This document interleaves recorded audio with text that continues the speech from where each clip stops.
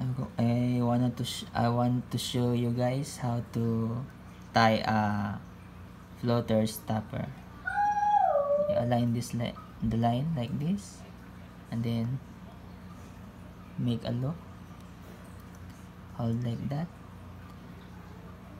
Then the inside.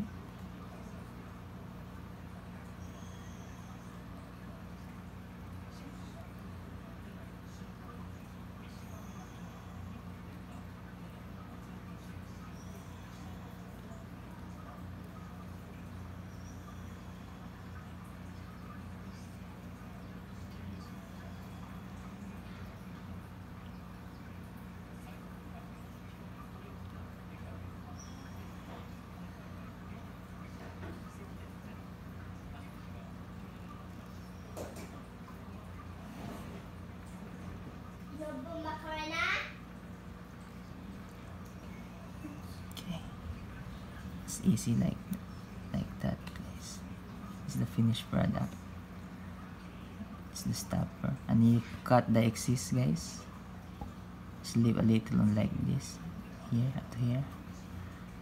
That's ready to go. Tight lines. Bye bye.